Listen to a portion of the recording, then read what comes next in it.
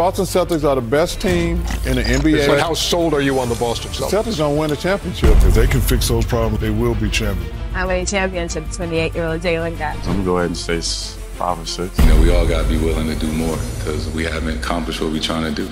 The Boston Celtics are historically one of the most successful franchises in all of sports. They won their first championship in the 1950s, nearly every NBA Finals in the 1960s, two more championships in the 1970s, and three more in the 1980s. But since winning their 16th championship in 1986, their 2008 championship is the only one they've captured since. And trust me, they'll consistently remind you about that. I'm a champion too. Go ahead. You know, Chuck, you almost a champion. Yeah, Keep going. And yet this version of the Boston Celtics is still missing a championship. This year, Celtics have owned the league's best record for most of the season, operating as the clear championship favorites. But being the favorites also brings immense expectations, and anything less than a championship this season will be a damning indictment of the Celtics and their best player. So before we get to the content, make sure you drop like, subscribe, and turn on our notifications to help get us to 900k subscribers. Now that we get all that out of the way, cue the intro.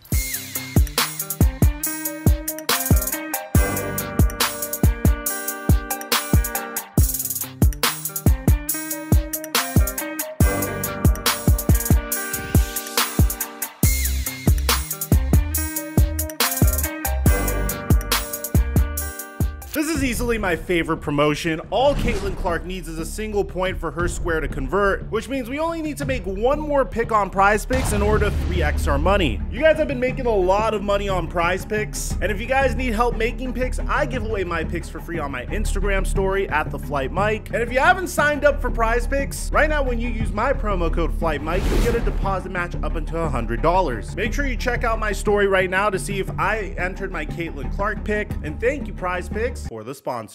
Mike check 1212. What's going on, everybody? On draft night in 2013, the Boston Celtics traded franchise legends Paul Pierce and Kevin Garnett to the Brooklyn Nets, along with Jason Terry. In exchange, the Boston Celtics received five players and a haul of first round picks. The Celtics would get Brooklyn's first round picks in 2014, 2016, and 2018, and crucially, the right to swap first round picks with the Nets in 2017. Those draft picks would eventually form the core of Boston's resurgence to the upper echelon of the NBA's landscape. Meanwhile, the trade was an absolute unmitigated disaster for Brooklyn. They won 44 games the following year before getting smashed in the second round of the 2014 playoffs by the Miami Heat. They barely squeaked into the 2015 playoffs with a losing record before losing in the first round. Paul Pierce only played one horrible season in Brooklyn, while Kevin Garnett got traded back to Minnesota in his second season with the Nets. The Nets would go on to be one of the league's worst teams in each of the next three seasons between 2015 and 2018. Conversely, the Boston Celtics benefited tremendously, using Brooklyn's failures for their own gain. In 2014, they used Brooklyn's pick to take James Young 17th overall, and while he turned out to be a bust, they also drafted Marcus Smart 6th overall with their own pick. In 2016, they used their third overall pick from Brooklyn to take Jaylen Brown. They used their pick swap ability to land the number one overall pick in 2017 after finishing with the East's best record, and they ended up trading that pick to the Philadelphia 76ers to move down to the third overall pick to select Jayson Tatum. They included Brooklyn's 2018 first round pick in the trade that landed them Kyrie Irving. And while Kyrie Irving's two year tenure in Boston wasn't exactly a successful one, Brown and Tatum rose to become the backbone of the organization thanks to one of the greatest trade heists in NBA history. In fact, the aftermath of the deal proved to be so one sided that the league even contemplated banning trades with three or more future unprotected or lightly protected picks. Even before Jaylen and Jayson took the team's reins, they had magical seasons from Isaiah Thomas, who helped get them back into the playoffs in 2015 and 2016 before advancing to the 2017 Eastern Conference Finals. Now, Thomas would leave town in the Kyrie Irving trade, which gave the Celtics their new best player, who led them to the second seed during the 2017 to 2018 regular season. But Boston got a glimpse into their future when Kyrie Irving underwent season ending surgery before the 2018 playoffs. Tatum and Brown became the league's leading leading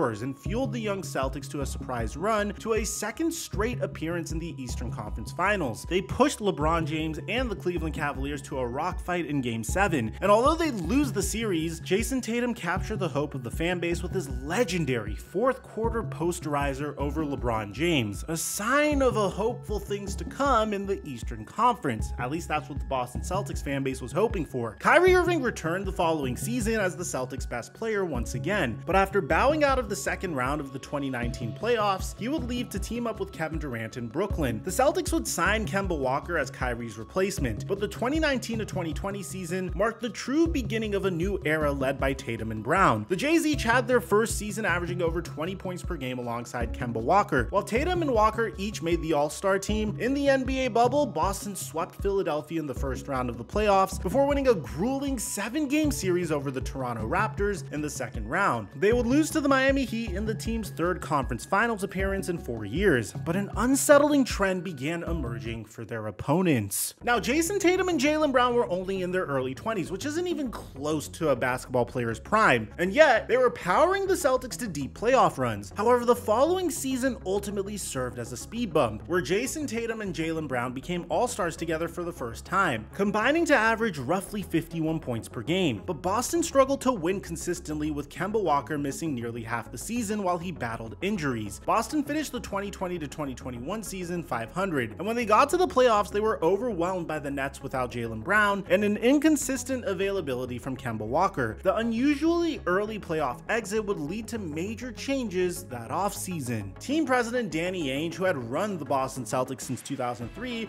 stepped down, ceding the position to Brad Stevens, who had been Boston's head coach since they began their rebuild a decade prior. To replace Brad Stevens, Boston hired Ime Udoka, and although the organization agreed a new voice was needed, it didn't yield the intended results right away. And in fact, it seemed like their situation had only gotten worse. Jayson Tatum made the All-Star team again, but Jaylen Brown missed the midseason classic because of an early injury and the Celtics' underwhelming record. The season involved some major bumps early, with Marcus Smart calling out Jayson Tatum and Jaylen Brown. The fan base was clamoring for the Boston Celtics to break up Jayson Tatum and Jaylen Brown as well. Public criticism from Udoka and a losing record entering the new year. 50 games in, and the Boston Celtics were once again sitting at 500 with a 25 25 win-loss record, just like the year prior. But something would completely flip the script for the Boston Celtics, as when January turned into February, the Celtics would trade for Derrick White, and immediately Boston rallied to race up the standings to finish 51 and 31 and second in the East. In the first round of the playoffs, they exacted some revenge on the Brooklyn Nets, sweeping them in the first round before facing a crucial moment for the Tatum and Brown pairing. Boston trailed 3-2 in their second round series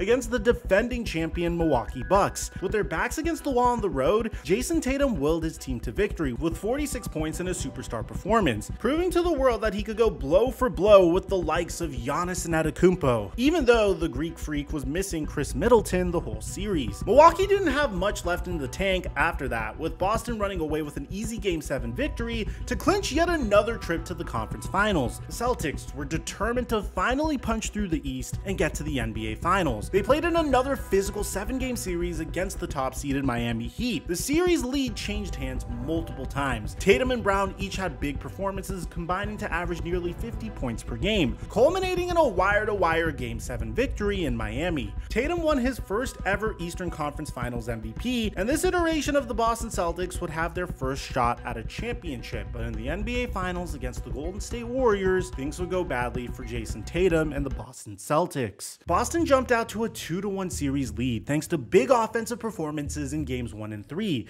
but the Celtics withered away the rest of the series as the Warriors went in to win the series in 6 games. Boston failed to reach 100 points in each of their 4 losses. Tatum picked the worst time to have his worst series, averaging just 21 points per game while shooting an abysmal 36% from the field. Tatum had his chance, but his performance showed he wasn't the superstar that could lead his team to a championship, at least not yet. While the 2022-23 season began with the surprise suspension of Ime Udoka for violating team policies, the season largely played out similarly to the season prior, minus the slow start. The Celtics held a strong record for nearly the entire season, powered by All-Star seasons from Tatum and Brown once again. Jayson Tatum even won the All-Star Game MVP with a game record 55 points. Boston had acquired Malcolm Brogdon before the season, and he flourished as the team's third guard, eventually winning Sixth Man of the Year. The team was humming so well that they named interim head coach Joe Mazzulla as the permanent head coach, officially moving on from Ime Udoka. Tatum averaged 30 points per game and had more total points than any other player during the regular season. Tatum finished fourth in MVP voting and was named to the All NBA first team for the second year in a row. Meanwhile, Jaylen Brown ended up on the All NBA second team, which would set up a pivotal contract negotiation that summer. However, in the interim, Boston looked to return to the NBA Finals. They took down the Atlanta Hawks in the first round before going the distance in a seven game series against Philadelphia. Tatum had another superstar moment in Game 7 with a 51 point performance, which was good enough to be the third most in Celtics playoff history, while simultaneously leading Boston to a blowout victory to clinch the series. But facing the Miami Heat once again in the conference finals, the Boston Celtics season took a turn for the worst. The Celtics fell behind 0 3 in the series, and although they came all the way back to force a game 7, they faltered when they returned home. Brown had a whopping 8 turnovers. Tatum scored just 14 points, looking nothing like the game 7 Tatum from the previous round. And the Celtics scored just 84 points in a devastating loss which cost them the series. It was the team's fifth trip to the Eastern Conference Finals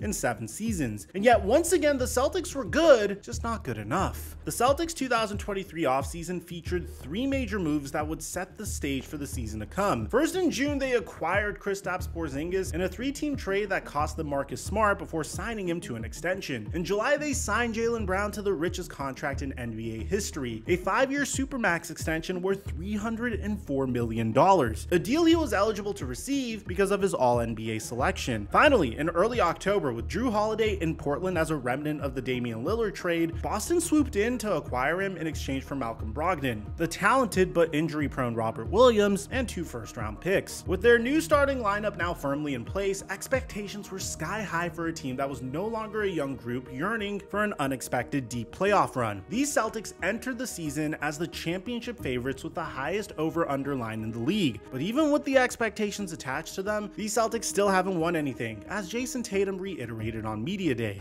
We should all feel like we got to do a little bit more because we didn't win. So whatever we've done has been great, but it hasn't been enough. So for myself on down the line, everybody has to sacrifice or be willing to do more, whatever it is. You know, we all got to be willing to do more because we haven't accomplished what we're trying to do. With expectations through the roof, the Boston Celtics responded by playing like the best team in the league. This season, the Celtics have six streaks of five wins or more. They've only lost two consecutive games twice, and they've not lost three straight games all season. They won three games by 50 or more points this season, the most in NBA history. Their 11 game winning streak in late February and early March featured the greatest point differential during any 11 game stretch in NBA history. Even with Boston's occasional hiccups, like when Cleveland's Dean Wade single-handedly outscored them in the fourth quarter to snap that streak, the Celtics are still sitting pretty atop the East. The Celtics have such a firm grip in the standings that only a catastrophic injury or collapse would prevent them from clinching the league's top record. They became the first team to clinch a playoff berth this season. The starting lineup of White and Holiday in the backcourt with Brown, Tatum, and Porzingis in the front court has been phenomenal, going 26 and 7 as one of the league's strongest lineups. There's not much drop off in their winning percentage when Al Horford starts with Porzingis out. The Celtics not only have the best offensive rating in the league, they also have the second best defensive rating in the league. On top of all of that, Boston's net rating, which is also the best in the league by a wide margin, is tied for the third best net rating in NBA history. Almost all the teams around them on the list went on to win the NBA Finals. The team's ascension to the top of the standings can be largely attributed to Jayson Tatum and Jaylen Brown, who were all-stars once again, but also helped smooth the transition for the team's major offseason acquisitions. Both of the Jays had their scoring and rebounding numbers decrease from last season, but their shooting numbers and assists have been slight increases. Their buy-in has this team humming in a way that is rare even by historical NBA standards. And yet when fans look back on this team and this era of Celtics basketball, they'll ultimately judge them based on what happens in the playoffs, and rightfully so. Jayson Tatum and Jaylen Brown have only appeared in one finals, with Tatum and particular struggling on the biggest stage. He likely won't win MVP this season, although he'll receive some votes, and his reputation doesn't seem like it will change much if Boston fails to win a championship this season. And if the Celtics don't win it at all this season, it'll be difficult for them to do anything substantial to improve the team in the short term. Committing to Jaylen Brown with his Supermax extension essentially put Boston on the clock financially speaking. The new collective bargaining agreement imposed a new financial benchmark called the second apron. Essentially, any team that spends enough money to enter the second apron, which is $182.5 million or more, is severely restricted when it comes to roster building mechanisms. Some examples of penalties include no sign in trades if it keeps the team above the apron, no cash can be used in a trade, limits on trade exceptions, and if the team remains in the second apron three times in a five year span, their first round pick is automatically moved to the end of the first round. Boston is already in the second apron, and that's before Jayson Tatum's expected Supermax extension,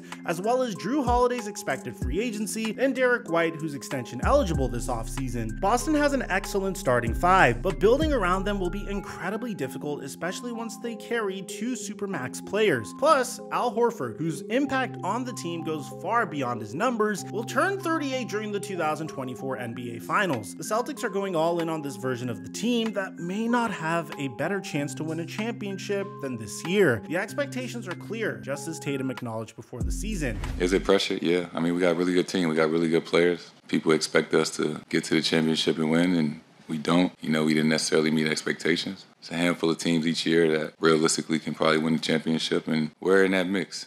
You know, we that's what we're aiming for, and uh, and that's what we should be aiming for. This Celtics team is no longer the same group that was just happy to be competitive in the Eastern Conference Finals. There may be no team with more championship pressure this season than the Boston Celtics. Is this the team that belongs next to some of the best teams in recent memory, or did they just get lucky through a historic trade over a decade ago? Is Jayson Tatum truly an MVP level player, or is he someone who will ultimately disappoint on the biggest stage? Those questions won't be answered for a while, but in the meantime, we might be witnessing one of the most pressure filled seasons of excellence NBA history. Let me know in the comment section down below. Are you expecting the Boston Celtics to do it yet again? Aside from that, I'm your boy Mike. I'm dropping our mic until our next upload.